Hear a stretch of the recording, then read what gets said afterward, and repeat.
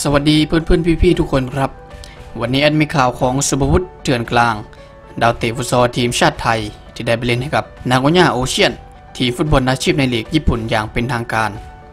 โดยก่อนหน้านี้เจ้าอาร์มมีคิวที่จะย้ายไปร่วมทีมนาโกย่าโอเชียน ตั้งแต่เดือนพฤษภาคม 63 ที่ผ่านมา แต่เนื่องจากการแพร่ระบาดของไวรัสโควิด -19 ทำให้การเดินทางไปเล่นที่ญี่ปุ่น เกิดความล่าช้าถึง 6 เดือน กระทั่งล่าสุดหลังสถานการณ์โควิด -19 เริ่มคลี่คลาย เจ้าอาร์มสุภวุฒิเถื่อนกลางได้เปิดตัวร่วมทีมแชมป์ฟุตบอลเจลีกของญี่ปุ่นถึง 11 สมัย อย่างเป็นทางการแล้ว โดยมีการแถลงการผ่านหน้าแฟนเพจของสโมสรด้วยสัญญายืมตัวหนึ่งฤดูกาลก่อนหน้านี้สโมสรนาโกย่าโอเชียน เคยดึงแข้งไทยอย่างเลิศชัย อิสราสุวิภากร ไปร่วมทีมค้าแข้งในปี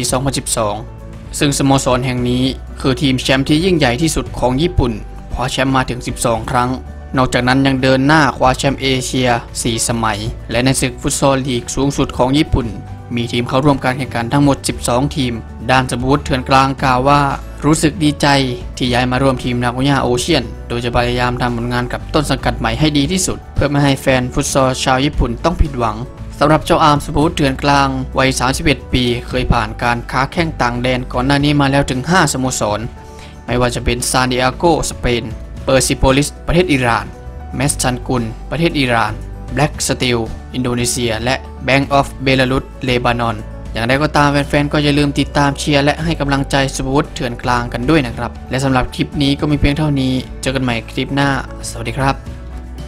ครับผมดีใจมากครับที่ผมได้มาเล่นกับทีมนาโกย่าโอเชียนครับแล้วก็ผมจะทำหน้าที่ดีสุดแล้วก็จะทำให้ทีมคว้าแชมป์แล้วก็ทำไม่ทำให้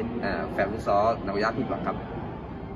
あの日本に、えーようやく来れて大変嬉しく思います。あのファンの皆さんにもあの名古屋オーシャンズの一員としてしっかりと貢献してチーム、えーの本当に選手としてですね、えー優勝できることをで最後はファンと一緒に分かち合えることを本当に楽しみに思っています。